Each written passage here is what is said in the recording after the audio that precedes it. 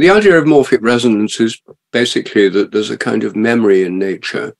All self organizing systems, molecules, crystals, cells, tissues, organisms, societies of organisms, galaxies, um, all self organizing systems at all levels have a kind of memory from past similar systems that's transmitted across time by a kind of resonance across time. That's what I call morphic resonance. And so this leads to the idea that each species has a kind of collective memory of form and of instinct. And in that sense, it's very similar to Jung's idea of the collective unconscious, which is a collective human memory. Um, so in, in that sense, it's very similar. I didn't arrive at this through studying Jung. I came to the idea of morphic resonance when I was working in Cambridge, where I worked as um, I was a research fellow of the Royal Society and a fellow of Clare College in Cambridge University. Um, and I was working on plant development, plant morphogenesis, how leaves take up their form, how plants grow. Um, and I and my colleagues were at the leading edge of um, a mechanistic understanding of plant growth, plant hormones. Uh, there's a hormone called auxin. I worked out how it's formed in plants, and with a colleague, I worked out how it's transported in a what's called the polar auxin transport system. Um, uh, we were way ahead of anyone working in animal development. We knew the key molecules, we knew how they were moved around, etc. But I then realized that this just wasn't enough because all plants have the same hormone and the same transport system, and yet a fern leaf's very different from a hollyhock leaf or a beech leaf. Um, and uh, the these hormones alone can't explain the form. Then I got interested in um, a well-established concept in developmental biology, morphogenetic fields, which are form-shaping fields, first proposed in the 1920s uh, the idea there's an invisible field that shapes a developing organism as it grows. Each cell has its own kind of field, each tissue has a field. There's a nested hierarchy of um, form shaping fields. Um, and this the, wasn't and these, my idea. Hmm? And, the, and these have actually held up pretty well because now there's a molecular model which is uh, carbon dioxide gradients, electrical gradients, and over time this has just become more more settled as a true phenomenon. Yeah, like Michael Levin's work, I'm sure you're aware of, seems to play right into this paradigm. Oh yes, Michael Levin is is I know Levin Levin, and his work is probably he's the best modern representative of this point of view.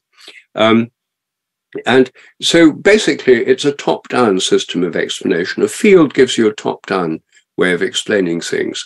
It's like if you want to explain the universe in terms of gravitational fields, which physicists do, it's a top down theory. The field explains how planets and stars interact. You don't start with individual atoms and try and build up the universe from atoms.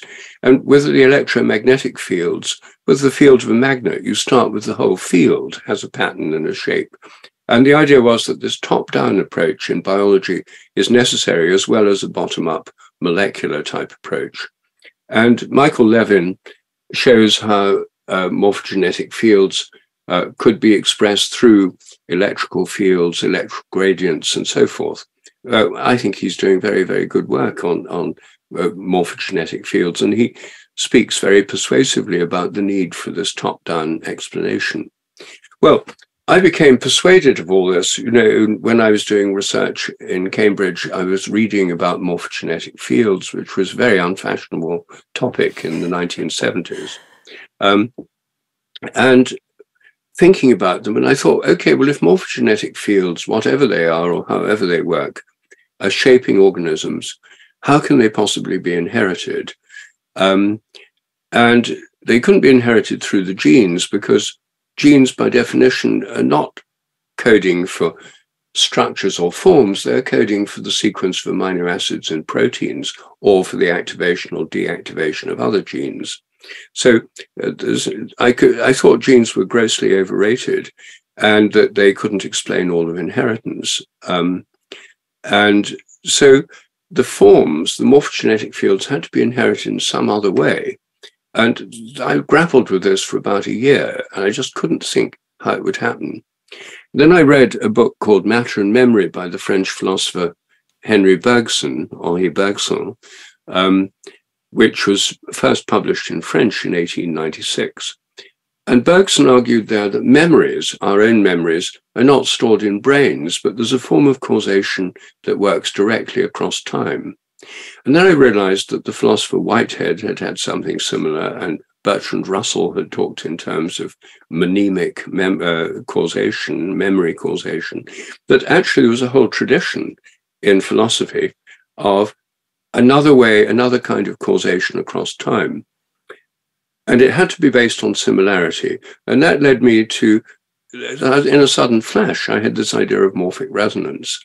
And, uh, and then the more I thought about it, the more it seemed to be capable of explaining. Because you see, I think that without morphic resonance, morphogenetic fields are very hard to explain. It's very hard to explain their inheritance. You have to say, I mean, I don't know where Michael Levin stands on this. He's well aware of morphic resonance. He's read my books on the subject. Um, um, but um, well, we will definitely. He's coming back to the show uh, in a couple months, so we will definitely ask him when we see him. But yeah, he's a, he's a very very kind man and very thoughtful, and I, I love talking to him. He's he's one of my favorite. Oh, he's great. He's great. I think I think he wouldn't probably want to commit himself to morphic resonance, partly because this would land him in a lot of trouble, um, and and partly because you know he'd want to see more evidence. And right now, it's very hard to get the experiments done. So there is some evidence, but there's very few people in the world working on this, and um, because you can't get grants, you'll lose your job, etc. Um, there's one experiment going on at a university in the US I can't name, um, and the person doing the research, who's a postdoc, has to do it at night when there's no one around because he fears he'll lose his job if anyone discovers he's doing research on morphic what are, resonance. What are the what are the experiments? Can you can you describe in broad strokes what that would look like? Yes. Um, according to morphic resonance, if an animal learns a new trick, um, say rats learn a new trick in New York, then rats all around the world in London, Melbourne, Australia, etc., should learn the same trick more easily just because they've learned that new trick. If lots of people do the word puzzle Wordle this morning, um, when it's just been issued, it might be harder for them to solve it than people who are doing it this evening when millions of other people have done that same puzzle. So these are all predictions of morphic resonance theory. I've tried to get my hands on the Wordle data, but the New York Times now own Wordle, and they're terrible spoilsports, and, and, and and say we are not interested in investigating this at this time. You know, they they just again, I suppose they prefer an easy life. If if someone said the New York Times is doing morphic resonance research with their word puzzle, you know, that would bring big problems for the games department, and they just want an easy life. Um, but anyway, it, it's a theory that would apply to all animal learning, including human learning, and is potentially very easy to test, like with Wordle, because there's a replicate experiment every single day. Um, but in this particular case, the, somebody's doing experiments with the nematode worm Caenorhabditis elegans, which is one of the main model organisms in uh, biological research. And with nematode worms, it's possible to train them to be attracted to certain chemicals. If you flavor their food with a chemical like benzaldehyde, which they wouldn't normally encounter in a pure form anyway, um, you can train them, you know, a bit like Pavlovian conditioning, to be attracted to, uh, they go towards benzaldehyde because that means food. And if you do this over several generations, um, they go on doing it um, it just without you, you don't have to select them. It, it just gets sort of built in. And this is called epigenetic inheritance the inheritance of acquired characters which used to be a big taboo in the 20th century in biology. In fact it was probably the biggest taboo. But now it's been rebranded epigenetic inheritance. It's a major topic of research as you know within biology. Um, well, the uh, the experiment I'm talking about is is conditioning nematode worms to be attracted to food with a particular attractant, so they get used to that. doing this for quite a number of generations, so they become more and more attracted to it, which could be an epigenetic effect. There could be molecular changes and so forth.